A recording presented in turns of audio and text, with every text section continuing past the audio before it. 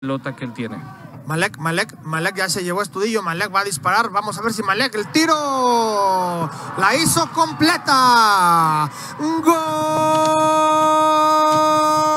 El disparo eh, de media distancia, que es algo que pudieran de repente eh, utilizar. Ahí viene el tiro por parte de Damián Hernández, ahora es Armando Bernal el tiro, gol.